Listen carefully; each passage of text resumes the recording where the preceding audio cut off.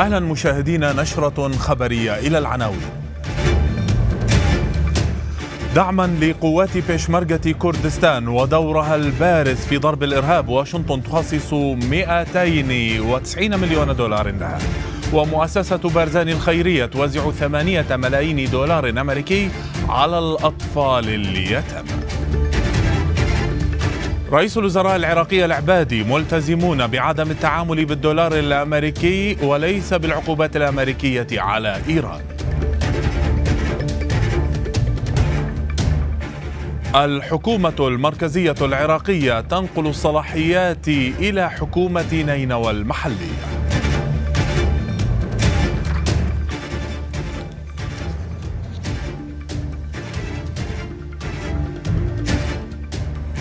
المنظمة العالمية لحقوق الإنسان في فرانكفورت تقول إن الحشد الشعبي يعرقل دخول المنظمات الخيرية إلى شنغال.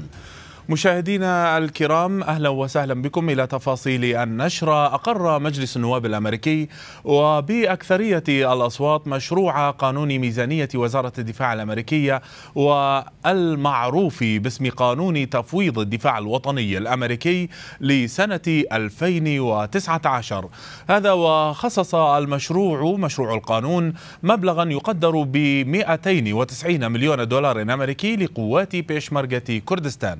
المزيد في هذا التقرير.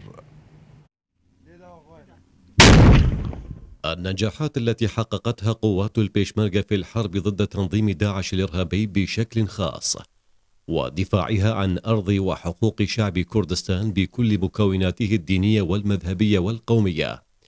جعلتها قوة ذات شهرة عالمية ومحل ثقة العالم أجمع خاصة بعد الانتصارات التي حققتها في حرب داعش. مجلس النواب الأمريكي وفي آخر دعم لهذه القوات.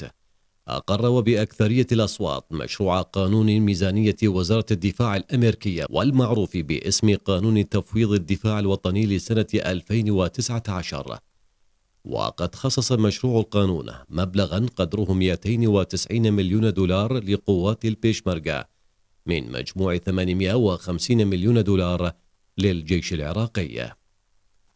وبحسب قانون تفويض الدفاع الوطني لسنة 2019 فإنه سيتم توفير هذا المبلغ لقوات البيشمركة للأسباب التالية.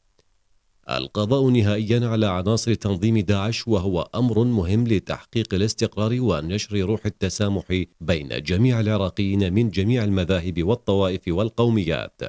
فقوات البيشمركة هي القوة التي أثبتت كل ذلك. من المقرر أن يصوت مجلس الشيوخ الأمريكي على هذا المشروع خلال الأسابيع القليلة المقبلة. وفي مسودة قانون الميزانية العسكرية الأمريكية قانون تفويض الدفاع الوطني ذكر الكونغرس اسم قوات بيشمركة أقليم كردستان.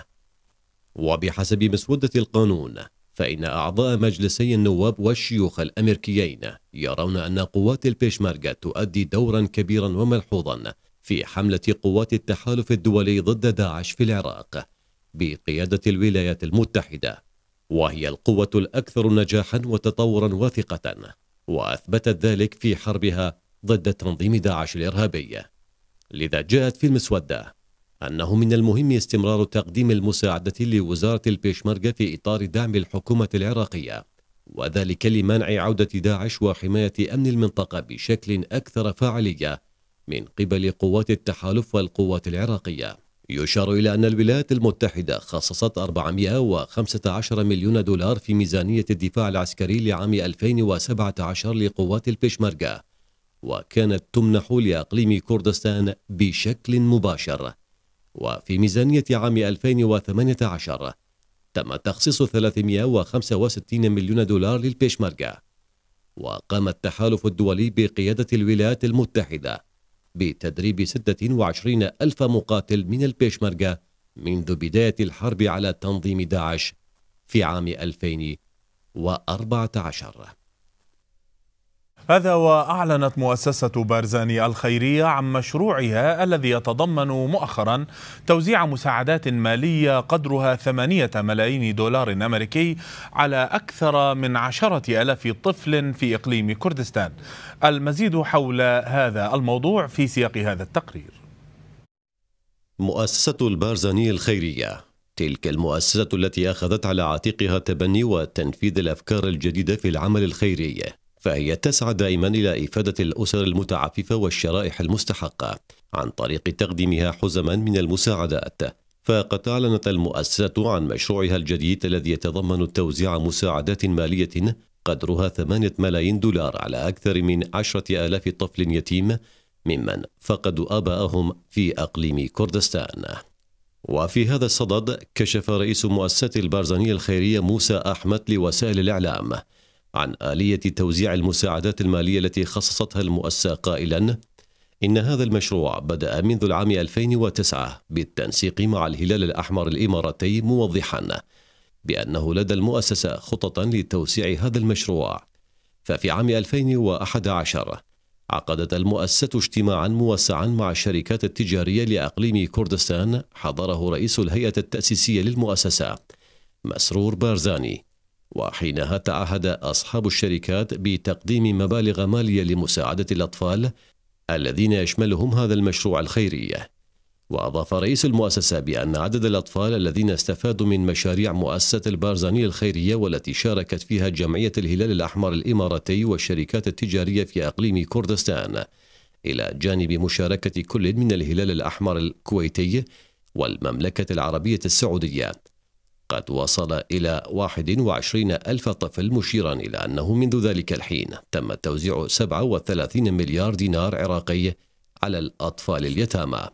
يشار إلى أن مؤسسة بارزاني الخيرية هي مؤسسة غير حكومية وغير سياسية وغير ربحية تأسست في العام 2005 في مدينة أربيل بأقليم كردستان.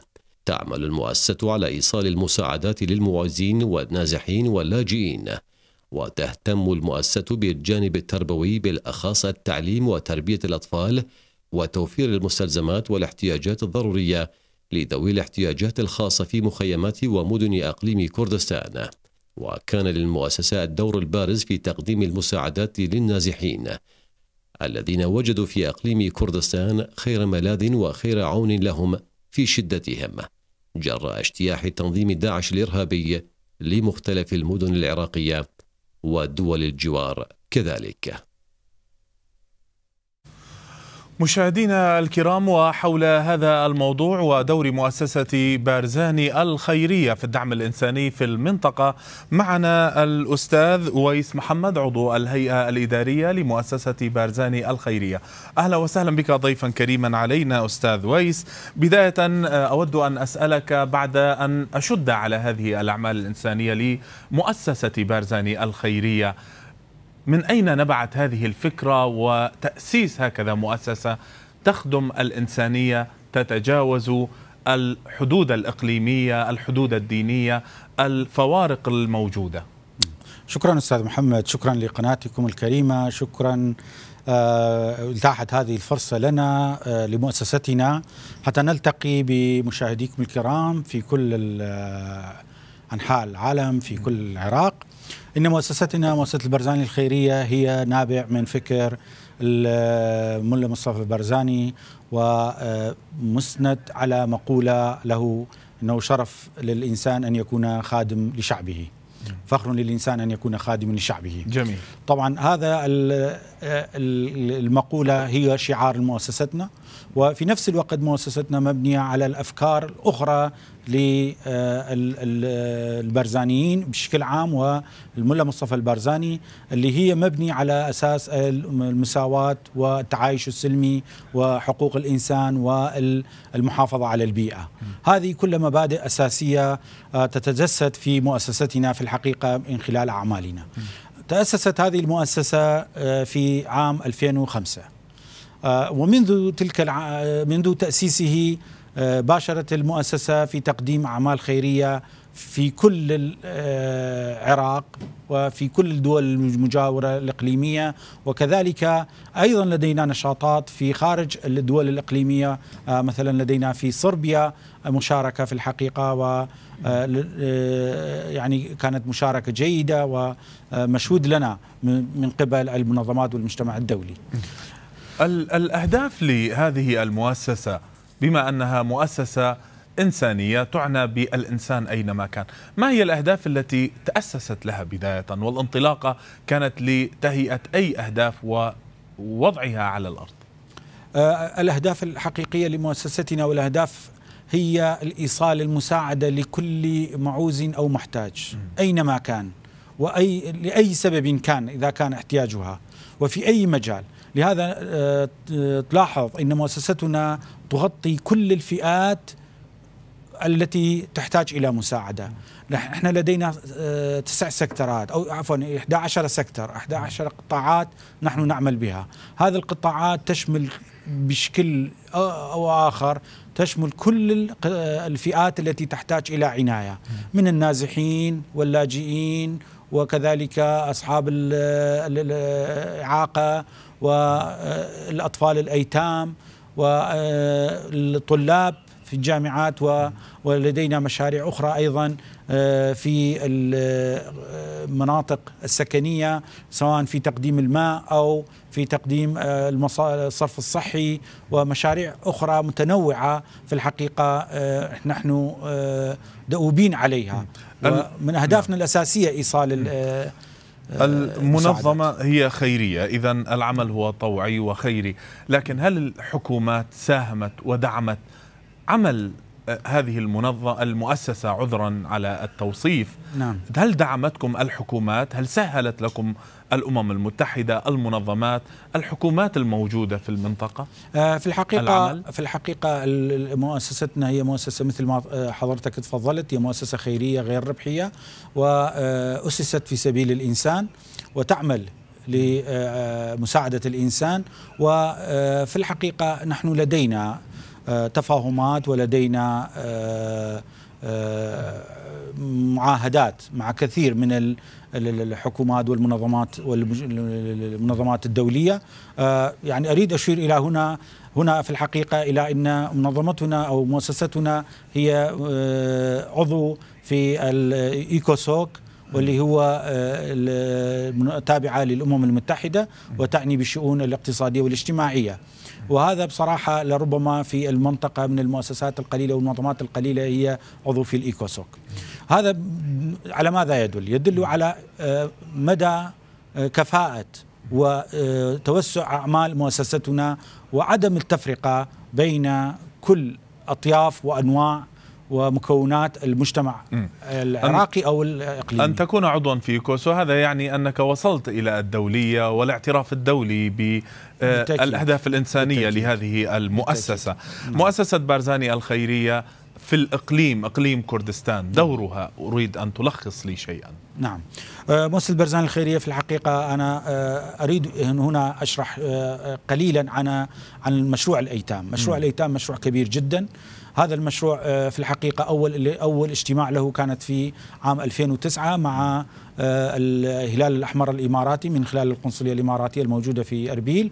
آه، استطعنا أنه نصل إلى اتفاق بأنه يكون يساعدونا في توفير التمويل لهذا المشروع.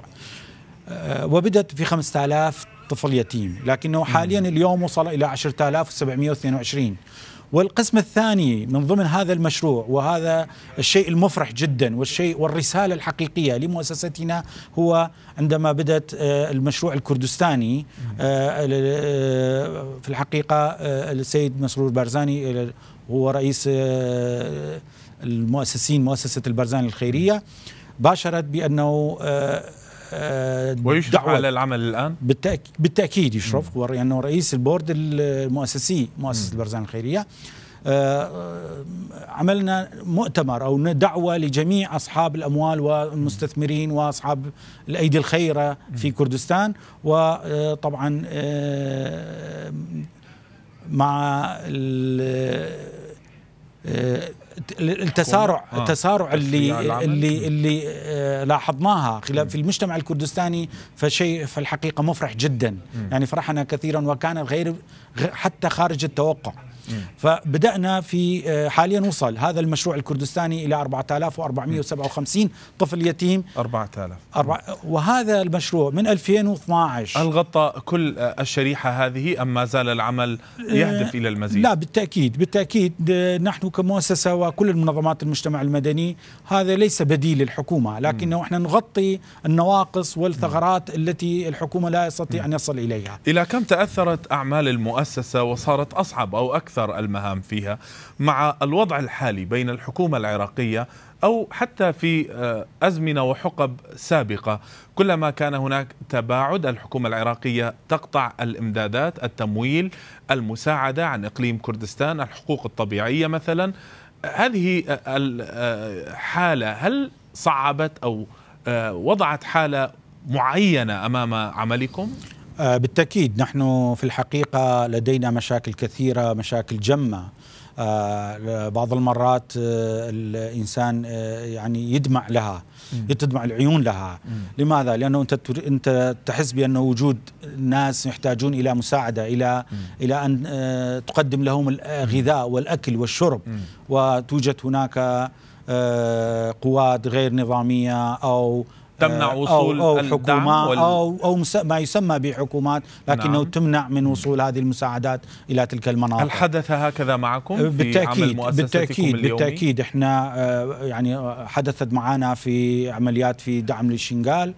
حدثت معنا عندما حاولنا نساعد آه، الناس في كرمانشاه في خلال زلزال في إيران. آه، منعونا. يعني إحنا أيضا عملنا على جمعنا المساعدات التي كبيرة مساعدات كبيرة استطعنا من خلال المجتمع الكردستاني. مثل ما حضرتك تعرف المجتمع الكردستاني مجتمع خير. يعني لمن تطلب من عندهم أنه أكو حادثة أو أكو مجموعة يحتاجون إلى مساعدة آه، يعني لا تعرف من أين يأتيك. من كل آه، زقاق ومن كل هب ودب. تاتيك المساعدات نعم. لمينا مساعدات كبيرة لكرمانشاه لم نستطيع أن نوصل هذه المساعدات. آه، في آه، بداية في عفرين في كوباني. أيضا لاقينا كثير من هذه المشاكل. وحاليا نحن نلاقي هذه المشاكل عندما نريد نوصل مساعدات إلى داخل الموصل. و آه، إلى داخل المناطق ساحل النينوى نعم يعني آه، سهول نينوى نعم سهل نينوى. وحاليا لدينا مشكلة كبيرة. يعني آه، منذ 16 أكتوبر لحد هذا اليوم مؤسسة البرزاني الخيرية مثل ما تعرفون إحنا لدينا خمس مكاتب. مكتب لدينا في موصل في أربيل في دهوك في سليمانية ولدينا مكتب في كركوك. لكنه لم نستطيع أن نستأنف عملنا ومباشرتنا في كركوك بسبب عدم تفاهم الحكومة مع هذا مع العلم نحن نعم. مقدمين لهم الرسالة الرسمية ونطلب من عندهم الإجابة وبدون الأمم آه المتحدة كان آه لها تقرير عن أوضاع مدينة كركوك بعد نعم. السادس عشر من أكتوبر نعم. كان عندها إشارة إلى نعم. حقوق الإنسان هناك نعم. النازحون من كركوك بعد السادس عشر من أكتوبر نعم. هل احتويتم بعضا من الاهتمام بهم وشملتموهم بالمساعدات الإنسانية؟ آه أنت حقيقة آه آه تفتح لي أبواب لربما ما ممكن سدها آه هذه مع الأسف بعد 16 أكتوبر النازحين من هذه الأحداث المأساوية. آه لأنه لمن تأتيك القساوة من عدو لربما تستقبلها. لكنه لمن تأتيك من ما يعتبره هو أنت شريك شريك شريكك نعم. وأخوك في الوطن مم. ويعاديك ويقسي عليك ويحرق بيوتك ويدمر أسواقك هذه كانت كارثة مم. كبيرة كارثة إنسانية ونفسية مم.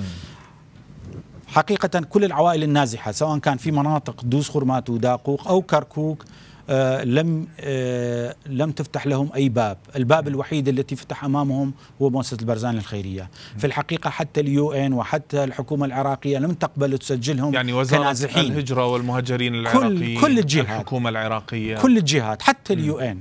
كلهم لم لم يفتحوا لهم باب وكلهم منعوا أن يسجلوهم كنازحين، الباب الوحيد اللي كانت مفتوحة أمامهم هو باب مؤسسة البرزاني الخيرية. وفي حينها خلال الأسبوع الأول إحنا تم تسجيل ما يقارب إلى حوالي 13 ألف عائلة آه نازحة. لكن طبعا هذا العدد بعد آه فترة آه تغير. لكنه خلال الشهر الأول نحن وصلنا إلى عدد 13 ألف عائلة نازحة. و بضغوطاتنا بصراحه بضغوطات مؤسسة البرزاني الخيرية استطعنا أن آه، نضغط على الحكومة العراقية ودائرة الهجرة والمهجرين في شهر 12 يعني قانون شهر 12 ديسمبر 2017 يعني ورا تقريبا شهرين ونص. يلا وافقوا على تسجيلهم. شهر بدوا تسجيل الأسماء كنازحين.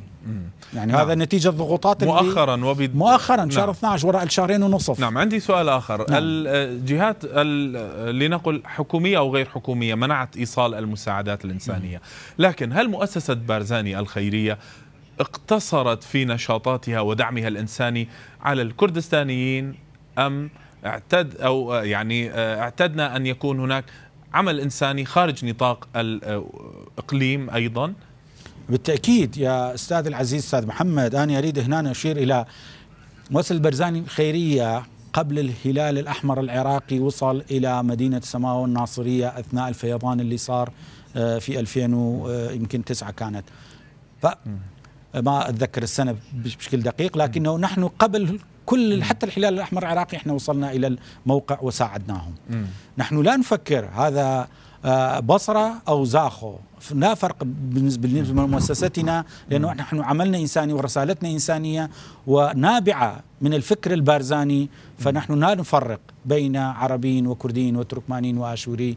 كل إنسان لدينا هو إنسان بغض النظر عن دينه أو قوميته.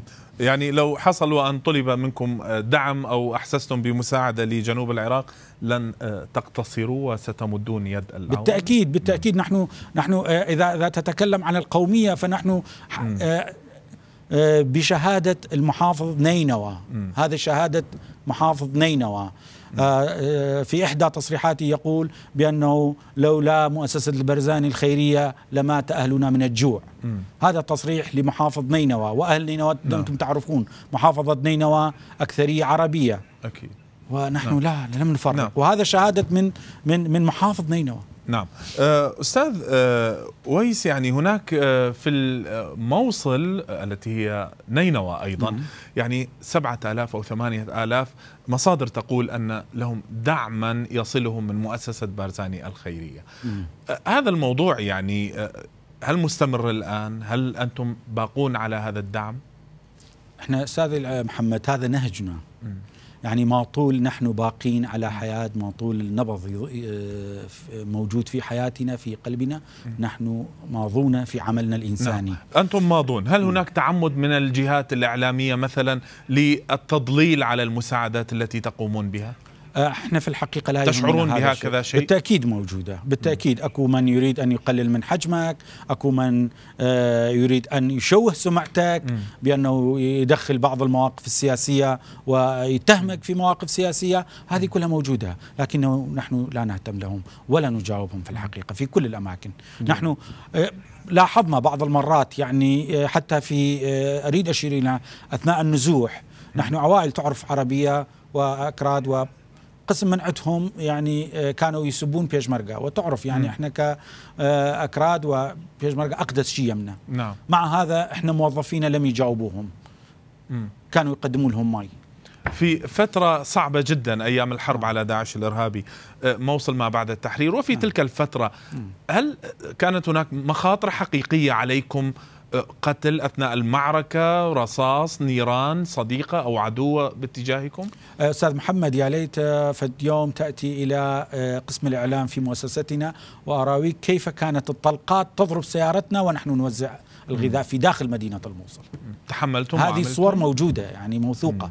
جيد. نعم. وما يعني وكانت المساعدات آه، في الحقيقة آه، من دولة الكويت والقنصلية آه، باختصار شديد. نعم.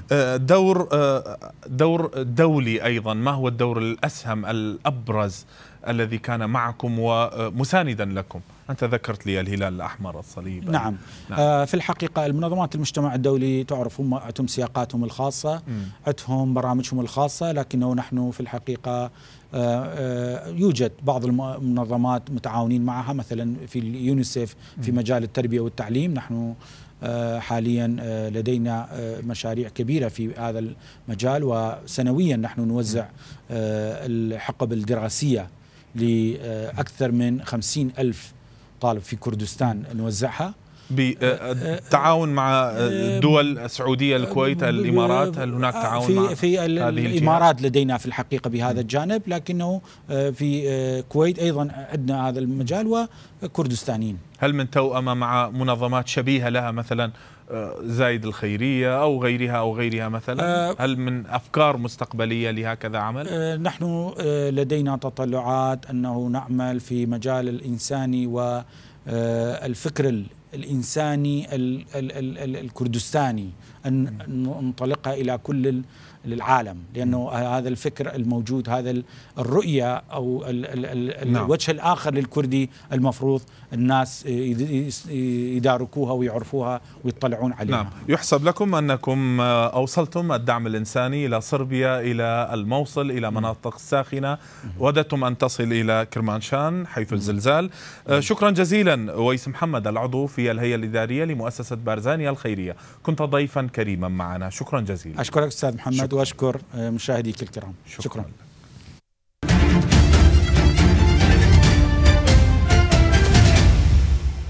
تراجع رئيس الوزراء العراقي حيدر العبادي بعد أن لقي انتقادات لاذعة من الداخل الإيراني تراجع عن تصريحاته السابقة والتي أغضبت الإيرانيين والتي كان قد أعرب من خلالها عن التزام العراق بالعقوبات الأمريكية ضد طهران.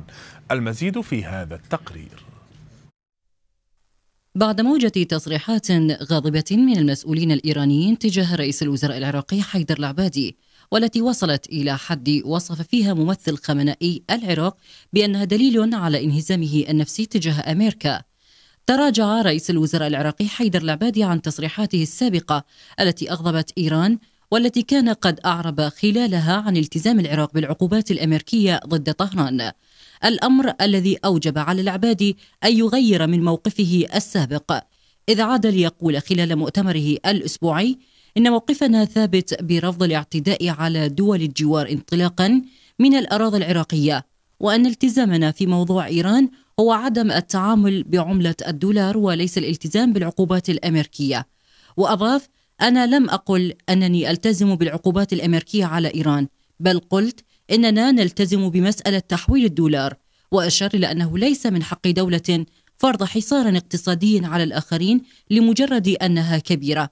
نافيا بذلك ما أعلنه يوم الأربعاء عندما أعلن التزام حكومته بالعقوبات الأمريكية وذلك حرصا منه على أن تتعرض مصالح العراقيين للخطر. هذا ويرى المراقبون السياسيون أن تغيير خطاب العباد هذا جاء نتيجة لموجة التصريحات الغاضبة الإيرانية ضده. الأمر الذي يشير إلى ضعف في شخصيته وهو الأمر الذي يفقد العباد أهم شروط المرجعية الواجب توفرها في شخص رئيس الوزراء القادم وهو أن يكون شخصا قويا كما أن هذا الأمر طرح تساؤلا آخر وهو هل سيغير العباد تصريحه الأخير هذا لو تعرض إلى انتقاد أمريكي؟ وترأس حيدر العبادي الأحد اجتماعا للمجلس الوزاري للأمن الوطني حيث جرى خلال الاجتماع التأكيد على عمق العلاقات بين العراق وإيران والمصالح الكبيرة التي تربطهما وأهمية الحفاظ عليها ورفض المجلس التفسيرات الخاطئة والتصريحات المسيسة لموقف العراق الرسمي الذي أدان سياسة تجويع الشعوب والذي عبر عنه رئيس مجلس الوزراء حيدر العبادي حسب بيان لمكتبه. وأكد المجلس على أهمية الحفاظ على العلاقات المميزة مع الجمهورية الإسلامية الإيرانية.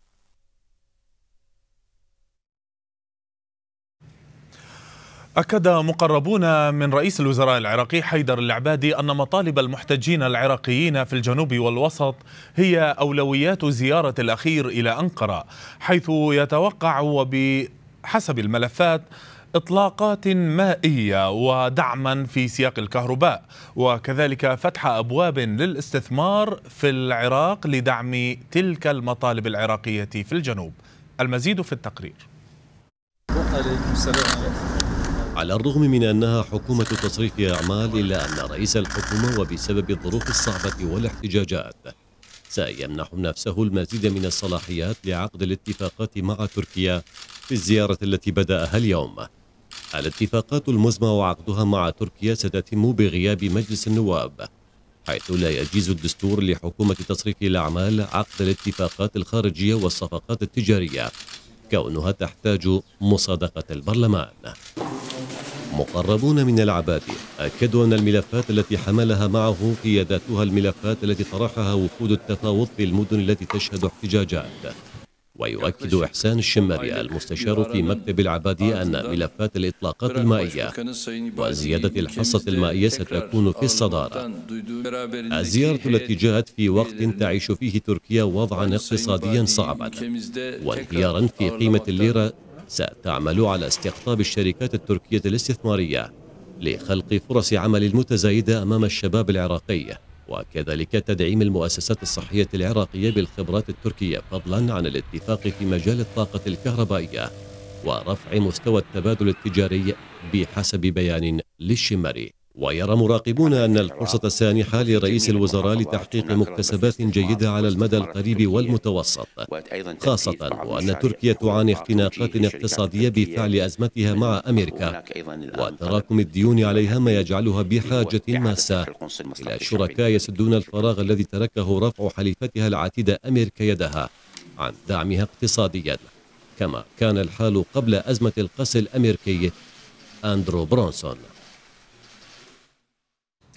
نقلت الحكومة المركزية صلاحية ثمان وزارات إلى الحكومة المحلية بنينوى وذلك في قرار وصف من قبل المقربين بالإيجابي.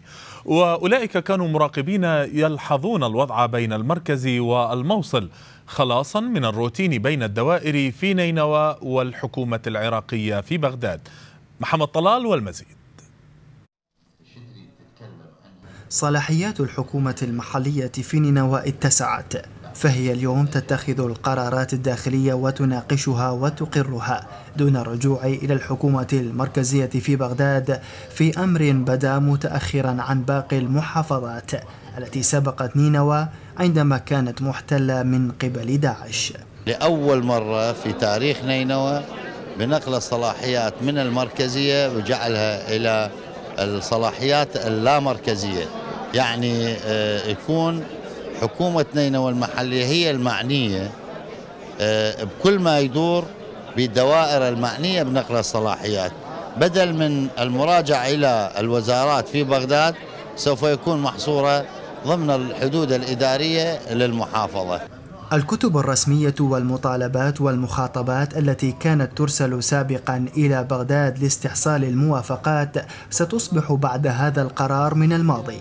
في خطوة وصفها مسؤولون بالإيجابية والتأريخية وستسهم في بتر الروتين الذي كان يقبض بأذرعه على انسيابية العمل. نقل الصلاحيات استندت على قانون مجالس المحافظات لسنة 2008 وتعديلاته التعديل الثالث الأخير الذي حصل يوم بالشهر الثالث الماضي لقانون 45 واليوم حصلت الموافقة على نقل صلاحيات خمس وزارات هي الرياضة والشباب والعمل والشؤون الاجتماعية والمالية والزراعة. مدراء الدوائر وخلال اجتماع الحكومة المحلية بهم قالوا أن هكذا قرارات لا نعلم إلى حد اللحظة إن كانت ستغير من واقع الحال أم سيبقى كل شيء على ما هو عليه الآن؟ نتأمل أن تتحسن الميزانية التشغيلية في دوائرنا وخاصة بأن دائرتنا تعتبر من الميزانية لا لا تمتلك ميزانية تشغيلية نهائيا. بعد مخاض عسير دوت صرخة قانون نقل الصلاحيات من الحكومة المركزية في بغداد إلى نينوى. فهل سيتغير واقع الحال في مدينة أصبحت تحتاج إلى أبسط التشريعات؟ محمد طلال زاغروس تيفي الموصل. ونبقى في الموصل إذ قال نائب مدير عام جنسية جنسية نينوى وكذلك الأحوال المدنية حسين علي. قال في تصريح لقناة زاغروز إن المديرية بنينوى تعمل لاستيعاب الزخم الحاصل نتيجة احتلال داعش لمدينة الموصل ونينوى عن طريق فتح شعب وأقسام جانبي مدينة الموصل. مديرية أحوال مدنية وجوازات إقامة نينوى مستمرة بتقديم خدماتنا للمواطنين آه، من خلال آه، دائرة أحوال مدنية في جميع الأقضية والنواحي وشهادة جنسية عراقية في الساحل الأيمن والأيسر ومكتب جوازات نينوى ومكتب معلومات نينوى. آه، الحقيقة كان هناك زخم لقلة الكادر وكان هناك تأخير في بعض المعاملات. ولكن الحمد لله بعد التحاق الكادر وتعزيز كوادرنا من العسكريين والمدنيين. تم افتتاح 20 شعبة في الساحل الأيمن وعشر شعب منافذ في الساحل الأيسر. وتم افتتاح مكتب شهادة جنسية عراقية في الساحل الأيمن ومكتب شهادة جنسية عراقية في سهل نينوى ومكتب آخر في ناحية زمار وربيعة ومكتب في الشيخان لتسهيل أمور المواطنين آه، فيما يخص آه، جوازات تواجه المنظمات الخيرية عائقا كبيرا في الوصول إلى شنغال لإيصال المساعدات الإنسانية مع وجود ظروف إنسانية سيئة يعيشها أبناء القضاء لكثرة الحواجز التي تضعها الفصائل التابعة للحشد الشعبي.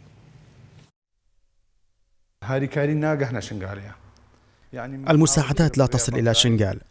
حاولنا عن طريق القنوات الرسمية في بغداد وعن طريق وزارة الخارجية. جربنا كل الطرق والوسائل.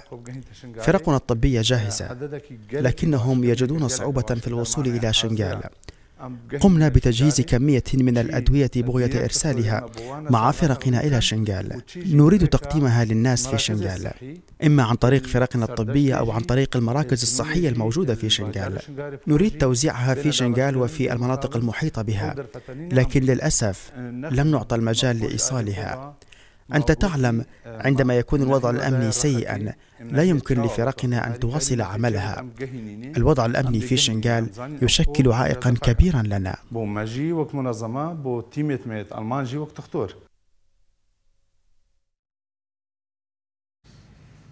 يبدو أن المسؤولين الإيرانيين انزعجوا من موقف رئيس الحكومة العراقية حيدر العبادي تجاه العقوبات الأمريكية المفروضة على طهران. ما دفعهم لفتح الدفاتر القديمة الحرب العراقية الإيرانية طبعا وذلك عبر مطالبة العراقيين بدفع التعويضات لطهران. تعويضات وإن كان الهدف منها الضغط على العراق لكن موقف بعض الأحزاب العراقية كان مؤيدا لطهران. ذلك أثار غضب الرأي العام العراقي. أحمد فيلي من العاصمة العراقية بغداد والمزيد. التصريحات الإيرانية التي طالبت العراق بدفع نحو 110 مليارات دولار كتعويضات عن الحرب العراقية الإيرانية والتي صدرت كردة فعل إيرانية على موقف رئيس الحكومة حيدر العبادي من العقوبات الأمريكية على طهران. لم تستفز العراقيين مثل ما استفزت بعض الأصوات السياسية المؤيدة لهذه المطالبات. الرأي العام العراقي بات يشكك في ولاء بعض الأحزاب السياسية. التي لا تهتم لمصلحة العراق بقدر مصالح الدول الأخرى المرتبطة معها. الطامة الكبرى والمصيبة العظمى عندما تشاهد مسؤول عراقي رفيع المستوى على مستوى برلمان على مستوى جماهيري ويقول نعطي تعويضات لإيران. نحن نعم ضد تجويع الشعوب مع إيران ولكن أنت عندما تتحدث بهكذا كلام آه، ما هي قوميتك؟ ما هي جنسيتك؟ عتبنا على السياسي العراقي والأغلبية حقيقة هم من حملة الجنسيات الثنائيات الجنسية. هذول يطالبون بحقوق الحكومة الإيرانية فهذا معيبة عليه معيبة على على على على شخصيته معيبة على الكتلة السياسية اللي يمثلها. في موازاة ذلك استغربت بعض القوى السياسية المناوئة لإيران من تلك التصريحات.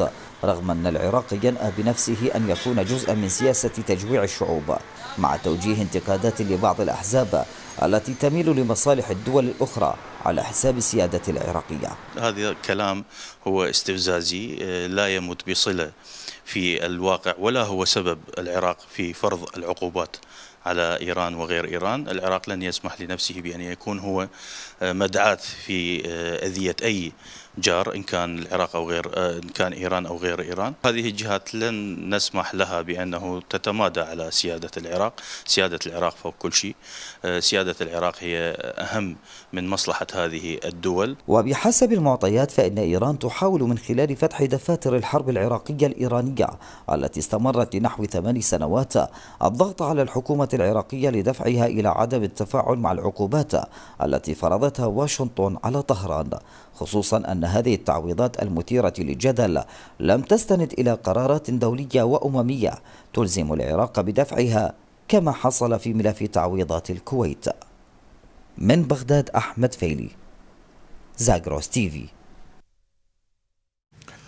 أزاحت العاصمة النمساوية فيينا وللمرة الأولى ملبورن الأسترالية من صدارة المؤشر العالمي لرفاهية العيش وذلك الذي وضعته وحدة Economist Intelligence ليعزز بذلك ادعاء فيينا بأنها أكثر مدينة ممتعة في العالم يمكنك العيش فيها. المزيد في التقرير. جمعية ميرسر المتخصصة في شؤون دراسات عن نوعية المعيشة في المدن الكبرى في جميع أنحاء العالم تجري كل عام مجموعة من التحقيقات والدراسات تهدف إلى إنشاء أفضل مكان للعيش في العالم. وعلى مدى السنوات التسعة عشر الماضية قامت الجمعية بالمسح السنوي في المدن الكبرى في العالم ودراسات استقصائية عن نوع المعيشة وجودتها من حيث النظر في عوامل عدة مثل الأمان والبنية التحتية وخدمات النقل والكهرباء وجودة مياه الشرب ومعيشة المغتربين. وطوال سبع سنوات الماضية جاءت مدينة مولبورن الأسترالية على رأس قائمة أفضل مدن العيش في العالم في منافسة شديدة مع مدينة فيينا النمساوية. وفي آخر مسح سنوي للمدن أجرتها مجموعة Mercer ووحدة Economist Intelligence لعام 2018 تصدرت فيينا لائحة المدن الأكثر ملائمة للعيش في العالم بمجموع بلغ 97.5 من 100 على القائمة السنوية التي تقيم الاستقرار. وساعد تراجع التهديد بشن هجمات إرهابية في أوروبا الغربية وكذلك انخفاض معدل الجريمة في المدينة في دفع فيينا إلى الترتيب الأول. وجاءت مدينة مولبورن الأسترالية في المرتبة الثانية وأوسكا اليابانية في المرتبة الثالثة. أما في الطرف الآخر للتصنيف الدولي جاءت دمشق في المرتبة الأخيرة من حيث الخدمات والاقتصاد ومعدل الجريمة والعيش الكريم للمواطن. أما العاصمة العراقية بغداد صنفت ضمن أخطر مدن العالم للعيش ولم تشملها التصنيف العالمي للمدن الأكثر رفاهية. وبذلك تتذيل بغداد قوائم المدن الأكثر رفاهية والعيش الكريم للعام العاشر على التوالي رغم الميزانيات الخيالية التي تعلنها الدولة والتي فاقت منذ عام 2003 918 مليار دولار بحسب مستشار الحكومة للشؤون الاقتصادية مظهر محمد صالح. وتقدمت العاصمة اليمنية صنعاء مركزين عن بغداد في حين تقدمت دمشق ستة مراكز عن العاصمة العراقية في آخر تقرير للجمعية. قال مدير حقل مجنون النفطي في مدينة البصرة العراقية جنوبا حسن حسن بتصريح خاص به قناتنا زاغروس تيفي. قال خلال مؤتمر صحفي أنه تم إبرام عقد لتطوير حقل مجنون النفطي مع شركة بتروفاك البريطانية وأكد أن هناك خطة لتطوير الحقل وستكون الأفضل خلال الحقب القليلة القادمة. عون الله تعالى تم اليوم توقيع آه، عقد إنشاء المحطة الثانية في حقل مجنون بطاقة 200 ألف برميل باليوم مع شركة بتروفاك مدة العقد 34 شهر. آه، المشروع ضمن آه، مرحلة تطوير حقل مجنون النفطي المرحلة الثانية للصعود بالطاقة الإنتاجية إلى 450 ألف برميل خلال أربع خلال ثلاث سنوات. الإنتاج الحالي من حقل مجنون بحدود 230 ألف برميل باليوم. أيضا هناك مشاريع مساندة لهذا المشروع وهي مشاريع حفر الآبار 80 بئر إضافة إلى مشاريع إنشاء 80 15 منصة حفر. كذلك إنشاء محطة متكاملة لمعالجة واستثمار الغاز الحامضي وإنشاء محطة لتوليد الطاقة الكهربائية بواقع 50 ميجا وات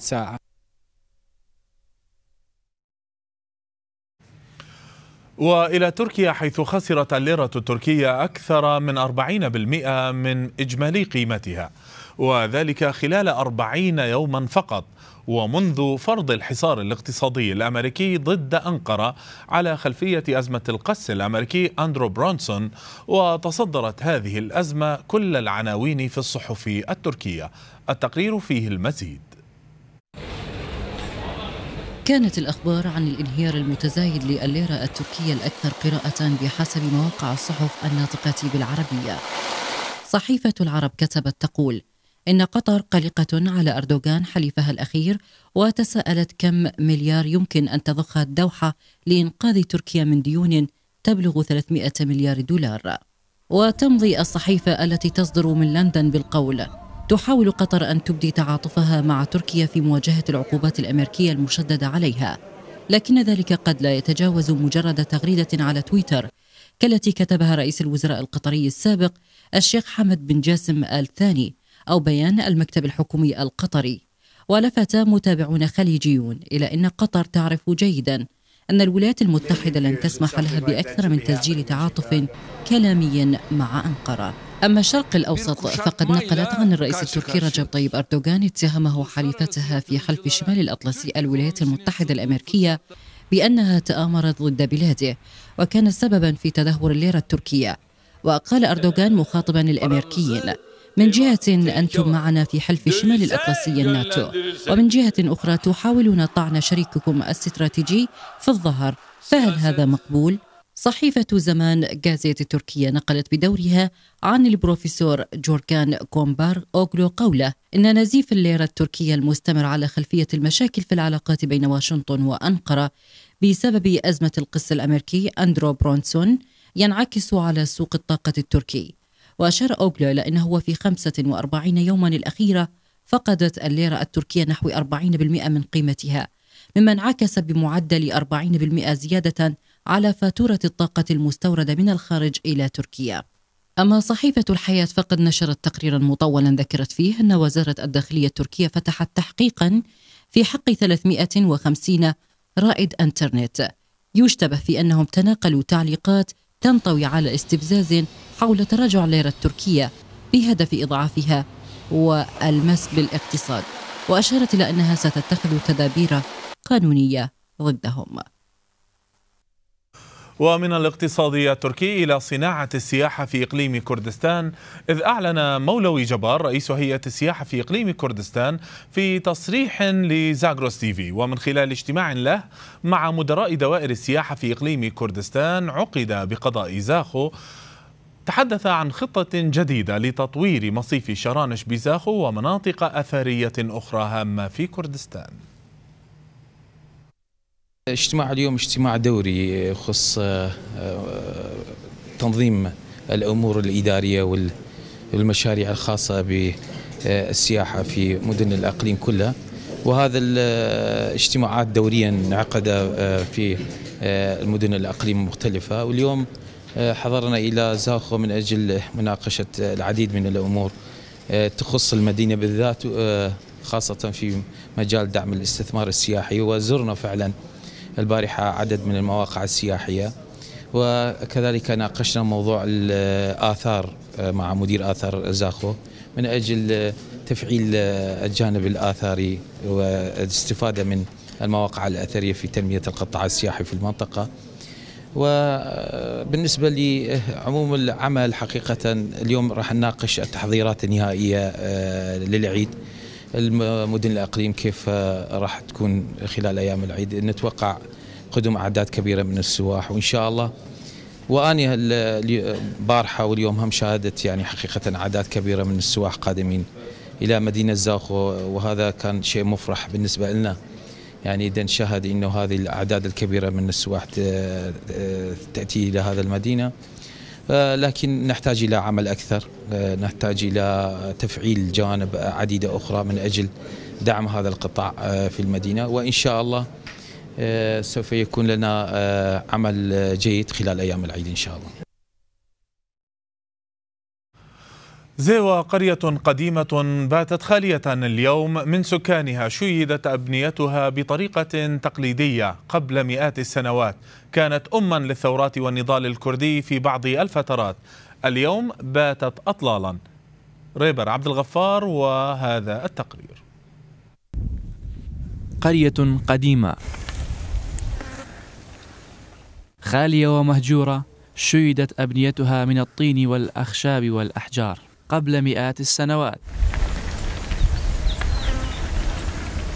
حسب المصادر التاريخية آه، تعود آه، تاريخ قريتنا إلى 300 ما قبل المئة حسب التاريخ الواردة إلينا. وبالنسبة إلى اسم هذه القرية قال مام هجار مكرياني في قاموسه همبان بورينا الزيوة يأتي بمعان عديدة منها الحسن منها الشيخ منها مكان الزوار. كان مسجد هذه القرية منبعا صافيا ينهل أئمة العلم وطلاب المعرفة من معينه. هذا المكان يعني يعني تخرج تخرج جل عظيم وكثير من هذه من هذه البقعة المباركة لصنع يعني فكرة جديدة مسالمة دينية فكرة وطنية. وبسبب موقعها الجغرافي الملائم اتخذت قوات بيشمركة من قرية زيوة ملجأ وملاذا آمنا في زمن الثورات الكردستانية. هذه القرية وأهاليها يعني لهم دور أساسي. في الثورات الكردية ومأوى ومسكن آه للبيشمركة وللثورات الكردية. هذه القرية واحدة من آلاف القرى الكردستانية التي خلت من سكانها. بعدما تعرضت للتدمير والتهجير والحرق على يد أزلام النظام البعثي البائد في زمن الطاغية صدام حسين.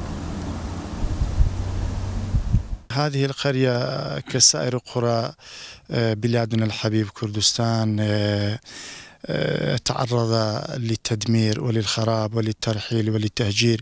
في عام 1974 هجروا ناس من منطقة ورحلوا إلى إيران ومن إيران مرة أخرى إلى جنوب العراق في عام 1975 وفي عام 1977 مرة أخرى عادوا إلى مناطقهم وبنوا قرية جديدة باسم برزيوة تقع قرية زيوة في منطقة وعرة تحت سلسلة صفح جبل زوسك على بعد 115 كيلومترا شمال شرقي العاصمة أربيل. ريبر عبد الغفار زاكروس TV سوران مغر جدا جبل زوزك لزيارته. مشاهدينا إلى العناوين الأخيرة. دعما لقوات بيشمركة كردستان ودورها البارز في ضرب الإرهاب. واشنطن تخصص 290 مليون دولار أمريكي لها ومؤسسة بارزاني الخيرية توزع ثمانية ملايين دولار على الأطفال اليتامى. العبادي نحن ملتزمون في بغداد بعدم التعامل بالدولار وليس بالعقوبات الأمريكية المفروضة على طهران. الحكومة المركزية تنقل الصلاحيات في بعض الوزارات إلى حكومة نينوى المحلية. المنظمة العالمية لحقوق الإنسان في فرانكفورت تقول: الحشد الشعبي يعرقل دخول المنظمات الخيرية إلى شنغال. تابعونا على زاغروس news dot net إلى اللقاء.